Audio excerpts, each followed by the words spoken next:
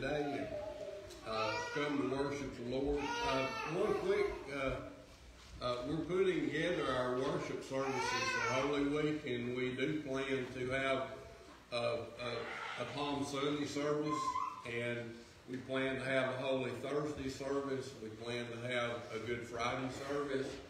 Um, and of course, we have an Easter service. So uh, I, I, said all that to uh, to tell you that last year, primarily the youth were involved in bringing uh, the readings for the Good Friday service, and I'd like to do as much of that as I could this year. So those of you who are going to be in town, uh, who aren't going away on spring break, uh, those young persons of you uh, let me know because we'd like to get you involved in this. Uh, the Good Friday service is going to take uh, about 16 people to make it happen. So uh, we want to use as many youth as we can. We're not excluding older youth such as myself, you know, but but uh, we we really enjoyed last year and, and you being part of that. Next Man Up meeting is today at 6 p.m. And um, so that will be the education building. Easter egg hunt is going to be Saturday, April the 8th, 10.30 to 12 p.m. Please bring plastic eggs filled with candy if able. And the pastor's cut is only two out of every 10 eggs. So, so you young people remember that. Easter sunrise service will be at Hawkins Cemetery on April 9th at 7 a.m. Uh, Jim Hickson will be bringing the message, and Easter breakfast will be at our church after the sunrise service. And there won't be any Sunday school uh, that morning, but everyone please come to the worship service at 11 a.m. We're going to celebrate the resurrection of our Lord. Camp Lookout New Salem Women's Scholarship Application boxes in the narthex. Please take a scholarship application envelope Return the scholarship application information form to the Camp Lookout Scholarship Application Box with a letter written by the camper saying why he or she wants to attend Camp Lookout in the original envelope no later than Sunday, April 16th by noon. We will announce that again next week and the next week so that you'll uh, be able to remember that. King's Kid, fifth grade and under, will meet today at 5 to 6 p.m. Dinner provided in the fellowship hall for those who wish to stay and eat. Youth, group will meet today at 5 p.m. Men's Bible study Monday, March 20th at the parsonage at 6.30. Ladies prayer group will meet on Monday, March 20th in the fellowship hall at 6.30.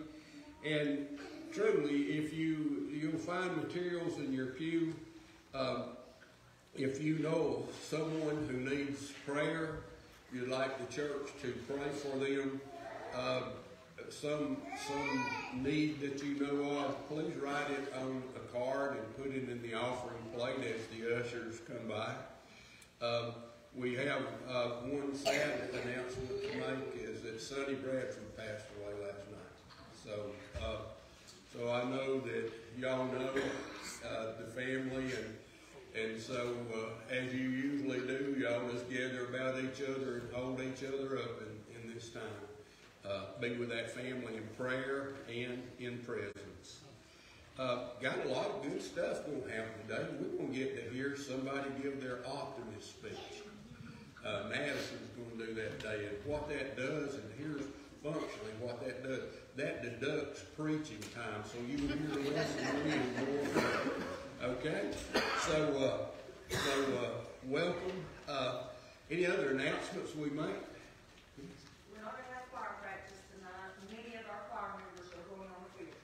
Going on a field trip. Where is this field trip to? Uh, Sharon, at your own. Appleton, Tennessee, to Redwoods To where? Uh, Appleton. Yeah.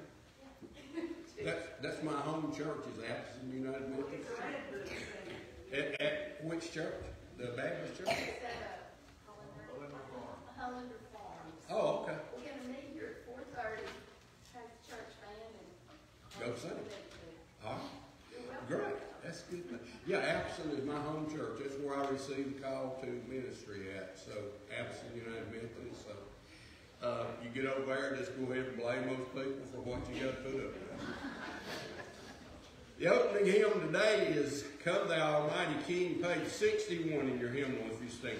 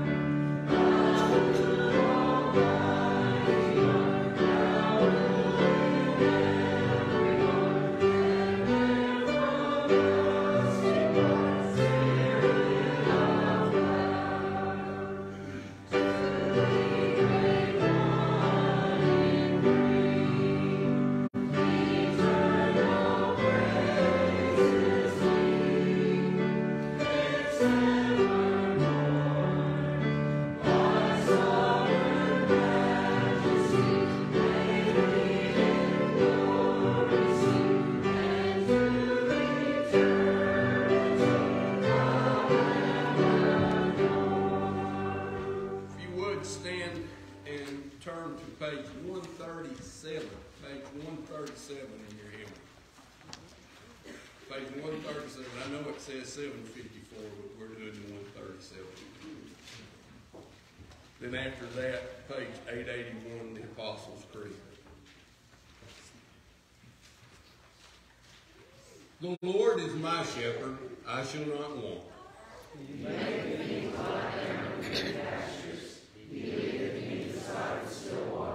He restoreth my soul. He leadeth me in the paths of righteousness for his name's sake. Thou walk in the valley of the shadow of death. I will fear no evil, for thou art with me. Thy rod and thy staff, they comfort me. Thou preparest a table before me in the presence of mine enemies. Thou anointest my head with oil, my cup runneth over.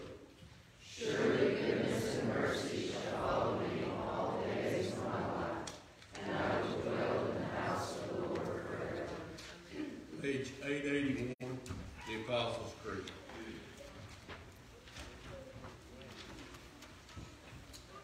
I believe in God the Father Almighty, maker of heaven and earth, and in Jesus Christ, his only Son, our Lord, who was conceived by the Holy Spirit, born of the Virgin Mary, suffered under Pontius Pilate, was crucified, dead, and buried. The third day he rose from the dead. He ascended into heaven, and sitteth at the right hand of God the Father Almighty. From whence he shall come to judge the quick and the dead. I believe in the Holy Spirit, the Holy Catholic Church, the communion of saints, the forgiveness of sins, the resurrection of the body, and the life everlasting. Amen. The peace of the Lord be with you. Move about and wish each other the peace of the Lord.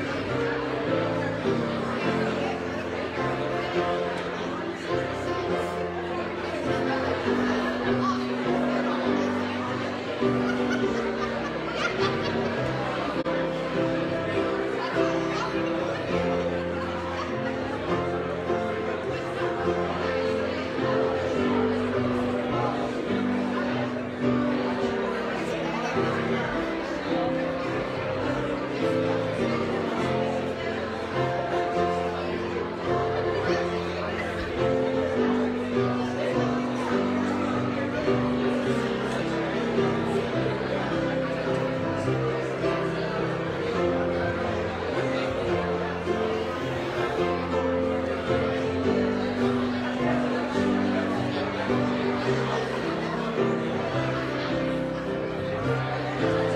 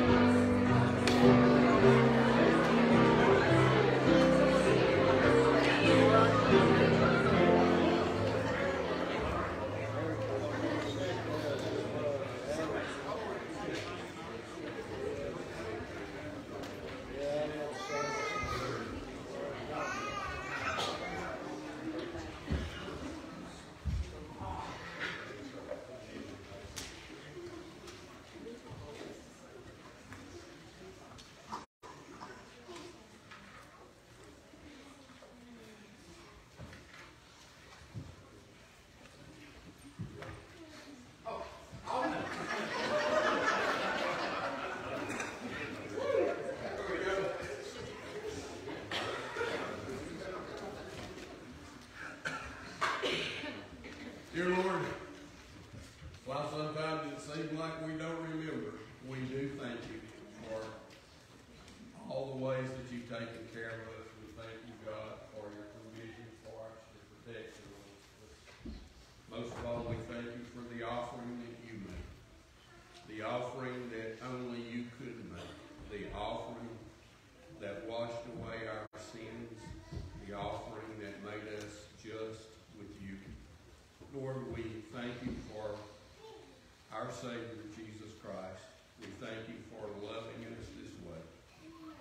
pray, Lord, that you would receive back into yourself a portion of that that we received, Lord.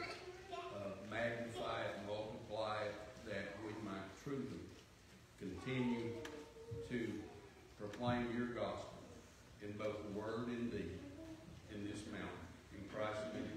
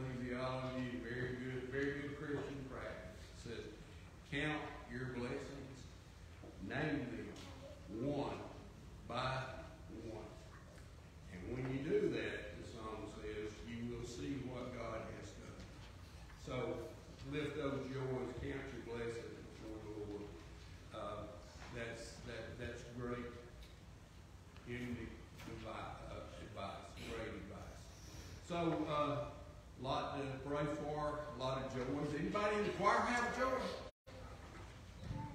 So y'all joyless, right? They're not. They're not.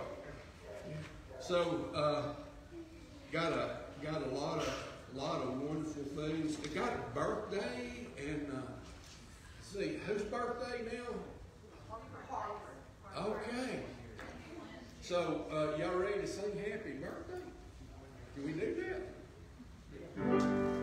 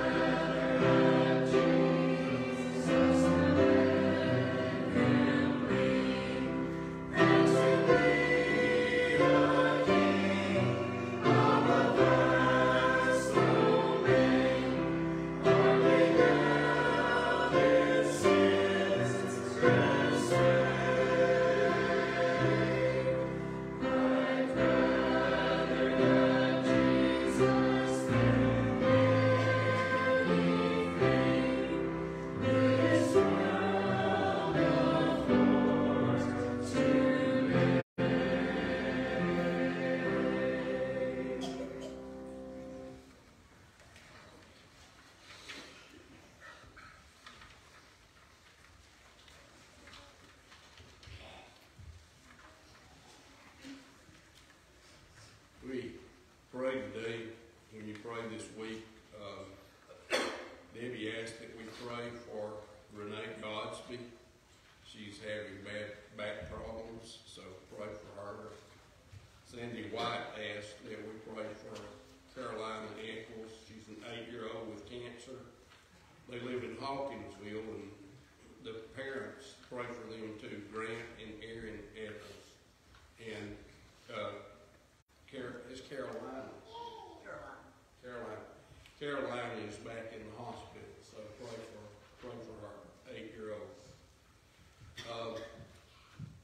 Pray for Sandra Reed and, and, and that family. Uh, pray for Irene Wheat Harris. Uh, Irene has cancer and is in hospice care, so uh, pray for her. She's also in the hospital. Uh, Wilding Sandra is... Has ovarian cancer. Sandra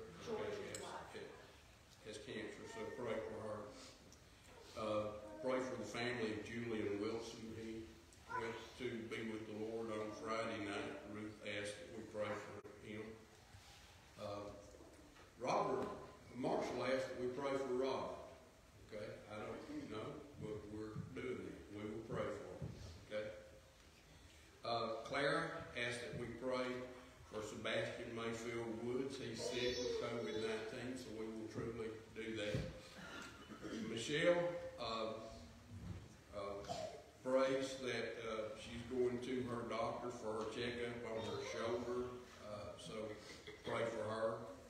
Uh, the family of Donnie Kenmore, uh, Donnie passed away.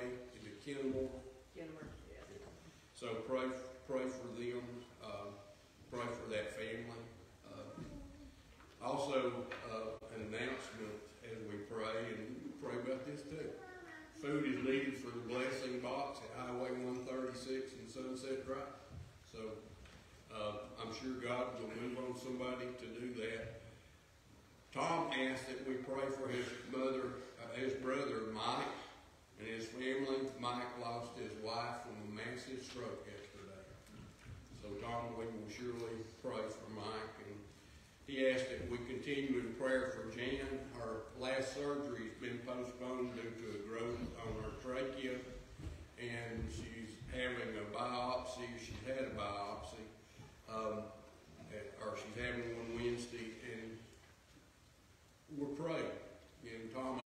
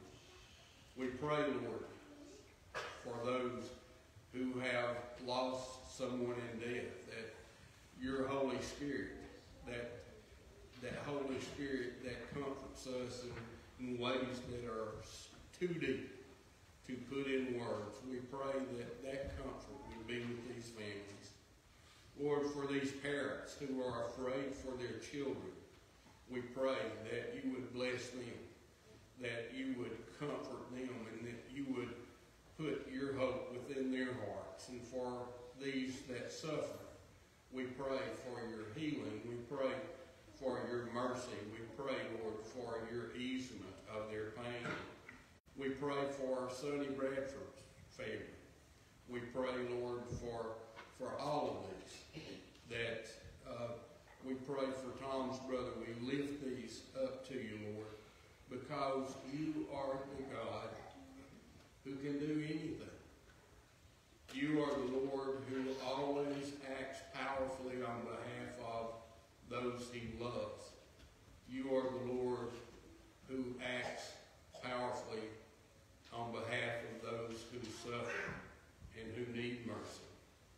Lord, as we pray today, we lift these requests to you. We pray for our nation. We pray for our world. We pray for our community. We pray, Lord, for this church that it might continue to hold up before the world the good news of Jesus Christ. This Christ that you sent as a ransom for the world, as a redeemer, as a savior. Lord, pray, we pray that you would make us able to clearly communicate this to the people in this community. Lord, we pray all this in the name of Christ who taught us to pray. Our Father, who art in heaven, hallowed be thy name. Thy kingdom come, thy will be done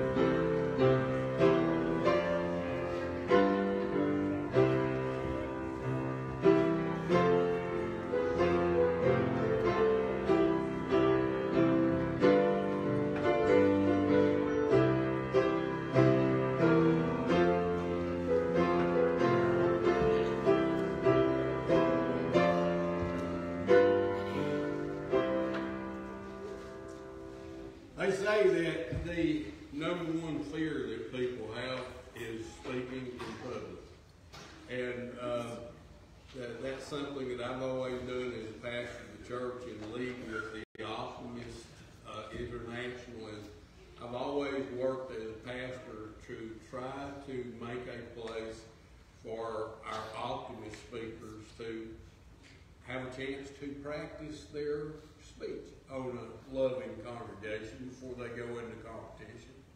But uh, I've also gotten a lot from these speeches as we hear people, you hear so much pessimism in the world, so much gloom and doom and whatever. Hey, listen to an optimist. Madison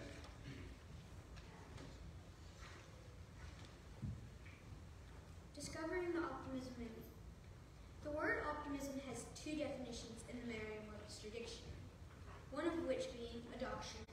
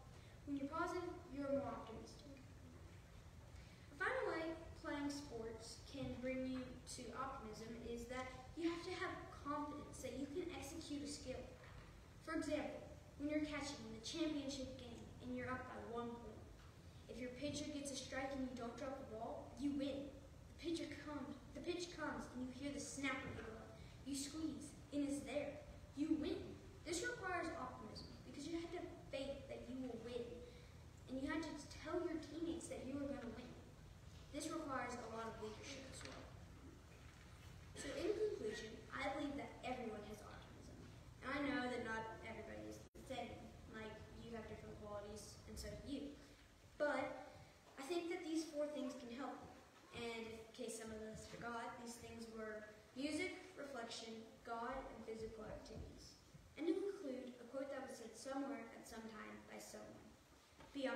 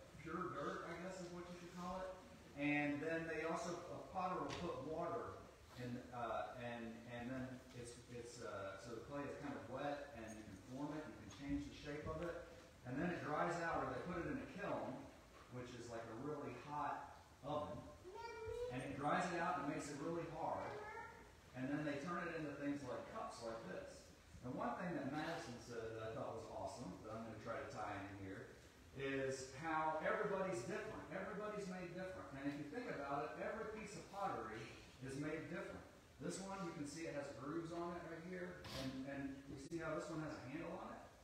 You see the colors of it? Yeah, so each piece of pottery, even if they look really the same, they're all made different. And I was thinking, there's a there's a verse by uh, this prophet, this really famous prophet who predicted that Jesus was going to come, named Isaiah, and he wrote this. This is Isaiah 64, 8. Lord, you are our Father. We are the clay, and you are our potter. We are the work of your hand. And so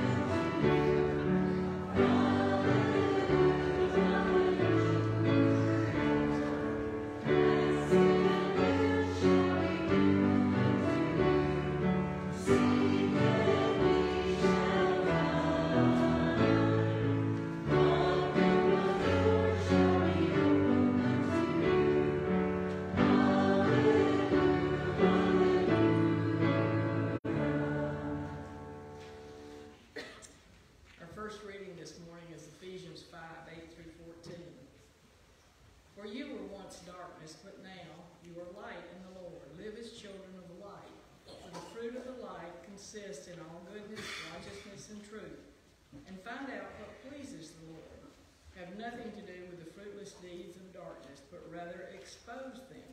It is shameful even to mention what the disobedient do in secret. But everything exposed by the light becomes visible, and everything that is illuminated becomes a light. This is why it is said, Wake up, sleeper, rise from the dead, and Christ will shine on you. Please rise for the reading of the gospel. It's John 9, 1 through 41. As he was alone, he saw a man blind from birth. His disciples him, Rabbi, who sinned, this man or his parents, that he was born blind? Neither this man nor his parents sinned, said Jesus, but this happened so that the works of God might be displayed in him. As long as it is day, we must do the works of him who sent me. Night is coming when no one can work. While I am in the world, I am the light of the world. After saying this, he spit on the ground and made some mud with his saliva and put it on the man's eyes. Go, he told him, wash in the pool of Siloam. This means sent. So the man went and washed and came home seeing. His neighbors and those who had formerly seen him begging asked, Is this the same man who used to sit and beg? Some claimed that it was. Others said, No, he only looks like him. But he himself insisted, I am the man. Well, then how were your eyes open, they asked. He replied, the man they called Jesus made some mud and put it on my eyes. He told me to go wash to Siloam and wash. And so I went and I washed, and then I could see. Where is this man? They asked him. I don't know, he said. They brought to the Pharisees the man who had been blind. But now the day on which Jesus had made the mud and opened the man's eyes was a Sabbath. Therefore the Pharisees also asked him how he had received his sight. He put mud on my eyes, the man replied, and I washed, and now I see. Some of the Pharisees said, This man is not from God, for he does not keep the Sabbath. But others asked, How can a sinner perform such signs? So they were divided. Then they turned again to the blind man. What have you to say about him? It was your eyes he opened. The man replied, He's a. They still did not believe that he had been blind and had received his sight until they sent for the man's parents. Is this your son? They asked. Is this the one you say was born blind?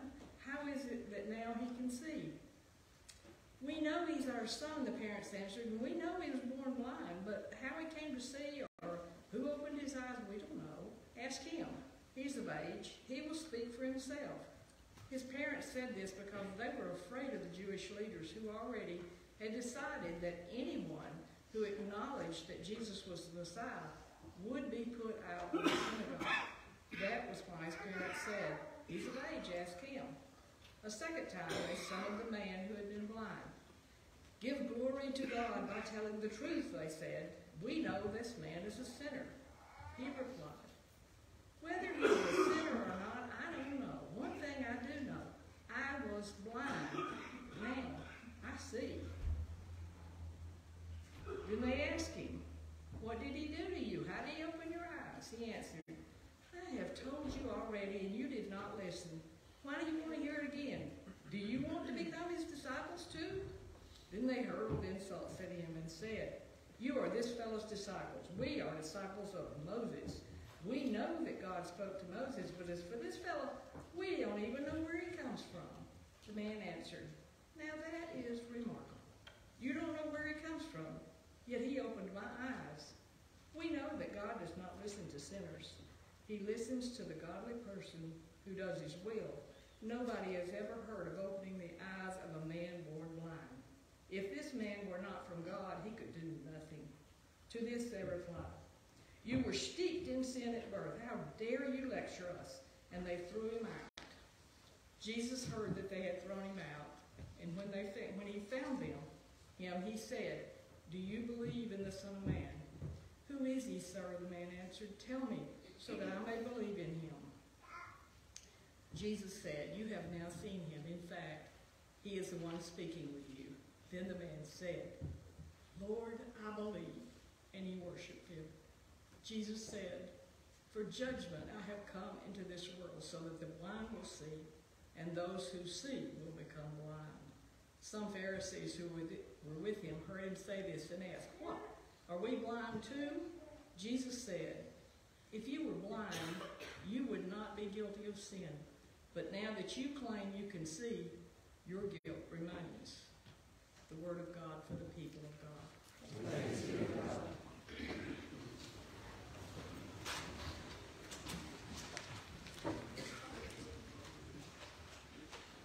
We go deeper into the season of Lent, your gospel stories are about Jesus picking fights. And, uh, and so uh, he's choosing to do all the right things on all the wrong days. He's choosing to hang out with all the wrong people. He's choosing to heal all the wrong people. Uh, picking a fight. But this passage of scripture that I'd like to deal with today is talking about being saved by grace through faith. That's something I want to touch on and touch on and touch on because that's the truth of how we come into relationship with God. We are saved by grace through faith. And, but I think sometimes we have problems defining both grace and faith. As we are saved by grace through faith and not of ourselves. It is the gift of God, Ephesians says. These lessons, today's lessons, are to encourage us to believe in Jesus Christ as the Son of God, the Son of Man, the Messiah, to believe in Jesus Christ as God's Savior. The church still teaches these lessons 2,000 years later because through them, people can be called to belief in Jesus Christ. That's why we go through these lessons and we read them in the presence of the church. They, because we can be called to belief in Jesus through these stories. And Jesus can encounter people today through these stories just like he encountered people in those days. That was and is grace. The Savior of the world encounters people.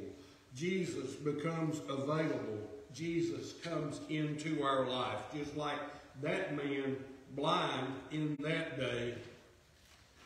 Jesus just walked into his life. Here is further grace that God sent Jesus from heaven to the earth to encounter humankind. Grace is God taking the first step. Grace is God reaching down. Today's story is about Christ who encountered a blind man, a man blind from birth, a man who was not only healed from his blindness, but a man who was healed of eternal death. At the end of that story, Jesus comes to him, and it, it, it's, it's, we need to remember is that the last time this guy was in Jesus' presence, he couldn't see Jesus. He was still blind. And when Jesus comes and finds him, after religion has kicked him out of the synagogue, after it's threatened to kick his mother and father out of the synagogue, when Jesus comes and finds this guy, he says, Do you believe in the Son of Man? And the guy was blind the last time he was around Jesus. said, Who is he? So I might believe in him. Jesus said, The one talking to you, I'm here. What about the first time we see Jesus? I'm going to be excited about that. I don't, I don't know about you. But grace is that Jesus came to the man. And faith is that the man trusted Jesus enough to do what Jesus directed. Faith is the response to grace. Grace is God encountering us. Grace is God telling us what to do. Faith is us doing what God has told us to do. Faith is a gift that God gives us that we might give it back in trust to God. Faith is the only thing I have. Over and over in Scripture, Jesus will say this Your faith has healed you. He will say, Your faith has saved you. He said, According to your faith, let it be done to you. Your faith, my faith, my faith, your faith is a gift that God gave us so that we might give it back to God in trust. But faith is not just about a positive outcome. See what it's like see what we can understand it. We understand that Jesus gave people the opportunity to trust Him. To trust Him by doing as He directed. Mark 3.15, there was a man with a withered hand. And faith was such a little thing. Jesus, again, it was on the Sabbath. Again, Jesus was picking a fight. There was a man with a withered hand. I don't know what it looked like, but it was a withered hand, maybe like that. It was useless to him. And Jesus called him up, and he said this. Now, you won't think this is great faith, but in the synagogue, Jesus said, stretch out your hand. The man obeyed, and he stretched out his hand, and he was healed. Mark 5, 23 through 34, there was this hemorrhagic woman, and she came near and she reached out to touch the hem of Christ's garment. And he turned and said, Daughter, your faith has made you well. Reaching out to touch Jesus. Bartimaeus, Mark 10, 46, one of the most powerful stories in the Bible. It's, a, it's got, a, it's got a paradox connected with it. Bartimaeus heard that Jesus was coming by. He was a beggar because he was blind, and he began to scream out, Jesus, son of David, have mercy on me. And his friend said. And the scripture said he screamed even the louder, Jesus, son of David, have mercy on me. It's quiet down. Jesus, son of David, have mercy on me. And then the paradox is that Jesus said this to blind Bartimaeus. He said, Come here.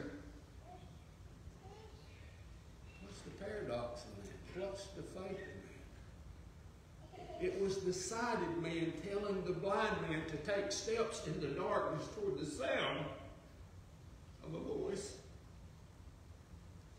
The scripture said Bartimaeus threw off his cloak and he sprang up toward the sound of Jesus' voice. Jesus gave him his sight. That was pretty great faith. Because throwing off that cloak, that was his house. That was his living.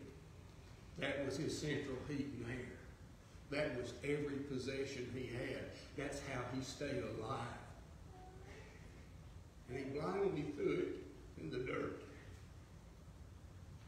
When Jesus said, Come to me, faith is obeying what grace tells us to do.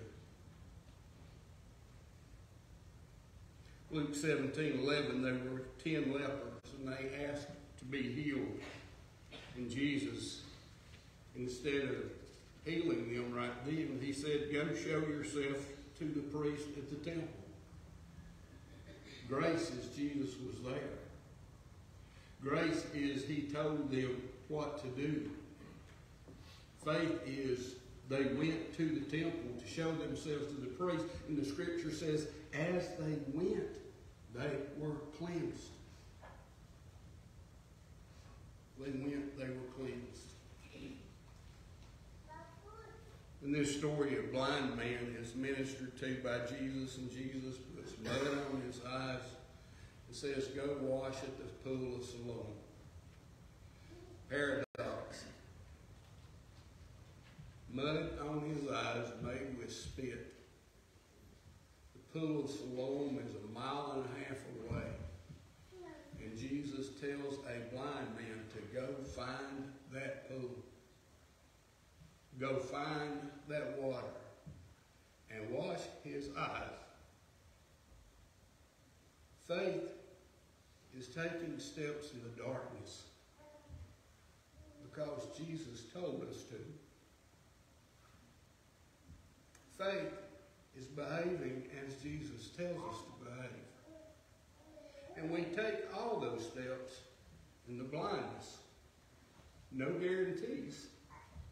We take those steps before we can see. We take those steps before we are healed. We take those steps before we are cleansed because we are saved by grace through faith and not of our own works.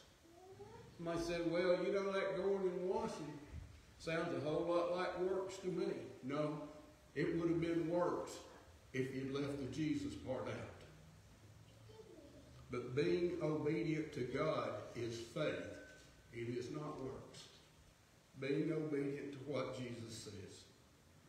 So the man still blind walks in darkness and finds the pool at Siloam, washes in it, and comes back to Jesus able to see. See, faith is a gift that God gave me.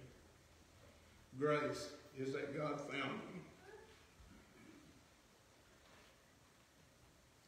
Faith is trusting what Christ tells me to do. Lord will speak to us and He will tell us what He wants us to do. He speaks to us in the Scripture. Sometimes it's much like taking steps in a blindness. Sometimes it's taking steps that really don't make a whole lot of sense. But it makes sense to God. Faith is trusting what Christ tells us to do. The result is we are healed, and we, like that man, are given eternal life. I guess if I were going to sum this up in a nutshell and tell you something, is no matter how strange it seems, do what Christ tells you to do. And you will gain your sight, you will gain your cleansing, and you will be healed. In the name of the Father, and the Son, and the Holy Spirit. Amen.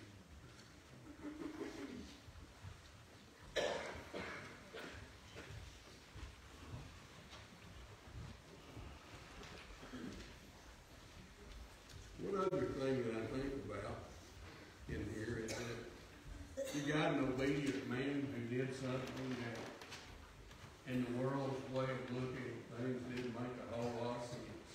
But here's something else that we really think about when God asks us to be obedient in faith. Jesus used this guy to pick the fight. When God does something in your life, He is picking a fight with the forces of darkness in the world. Let Him use you. Be faithful to Him. Do what Christ tells us to do. Live the way He tells us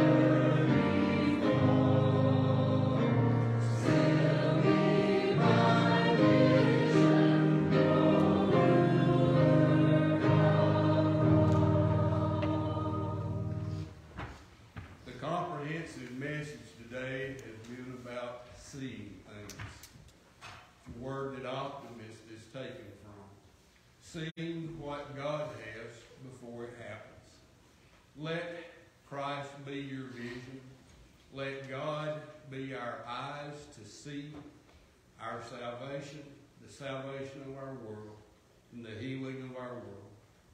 As He calls you and as He encounters you and as He directs you, follow what He tells you to do. In the name of the Father, and the Son, and the Holy Spirit, go in peace and go in grace. Amen.